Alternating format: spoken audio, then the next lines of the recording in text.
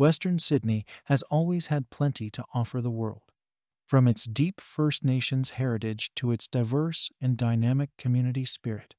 And when Western Sydney International Nancy Bird Walton Airport opens its doors in 2026, the world will be more connected to Sydney's cultural heartland than ever before. This is an airport experience unlike any other in Australia. Seamless and sustainable, intuitive and exciting, always open for international and domestic travel along with air cargo flights. The $4 billion Western Sydney International Nancy Bird Walton Airport is set to be a world-leading modern airport that puts people at the center of its design. Western Sydney International will be a full-service international, domestic and freight airport from the start of operations in late 2026. The transformative project will not only provide a boost to Sydney's long-term aviation capacity, but will also act as a catalyst for economic development, creating high-quality jobs and business opportunities across the region.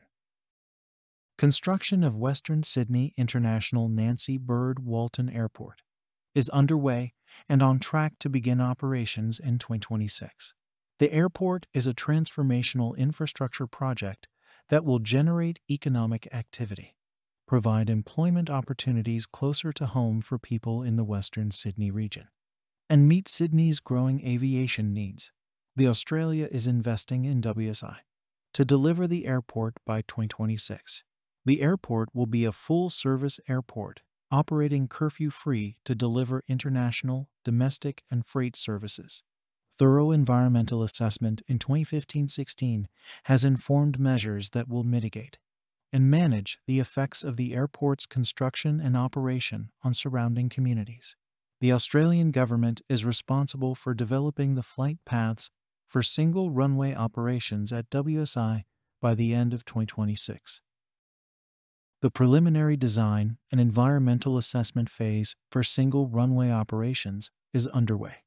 10 million passengers per year opening capacity, and set to become one of the largest gateways to Australia.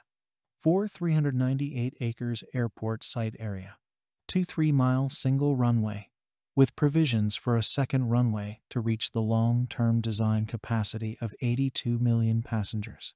25 million cubic meters of Earth movements.